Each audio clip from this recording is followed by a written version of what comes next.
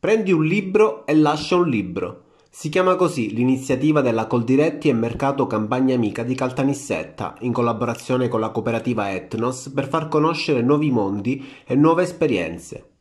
All'evento di presentazione del Book Crossing che si è svolto stamani insieme al presidente Francesco Cucurullo hanno partecipato gli studenti dei corsi linguistico e coreutico del liceo classico Ruggero VII di Caltanissetta, accompagnati da Loredana Scintilla, referente del progetto lettura dell'istituto, e da Claudio D'Agostino, coordinatore del mercato nisseno. I mercati di campagna amica vogliono essere un contenitore eh, culturale dove ci sono parecchie iniziative, l'ultima appunto quella del libro dove le persone che eh, vengono a comprare al mercato hanno l'opportunità di eh, prendere un libro scambiandolo con uno loro e quindi condividere la cultura del buon cibo e dei valori connessi al cibo, quindi salubrità, genuinità, rispetto per l'ambiente e